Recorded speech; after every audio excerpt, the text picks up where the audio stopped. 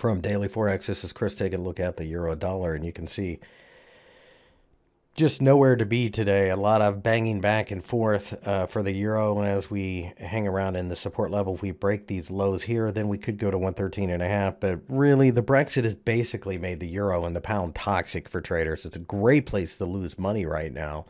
Um, I know a lot of traders will look at this and go, well, why don't I go down to the five minute chart and trade it? Well, I mean, you can, but uh, it's a great way to lose money in my experience because they're such micro moves.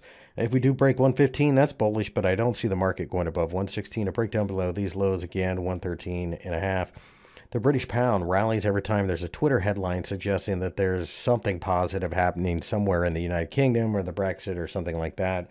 And uh, these all tend to be false headlines. Uh, somebody's clearly uh, making the bots move the markets in the way that they need them to. Uh, at this point, we have broken through a major downtrend line and it does look like we're finding support. So I still like the idea of buying British pounds, but I would do so with almost no leverage um, in anticipation of a, a, Brexit deal. And then you can really start to pile on. I think a lot of smart money is starting to do that. You know, remember the institutional players are, are doing like 10 to 1 leverage. 7 to 1 is probably a little more common.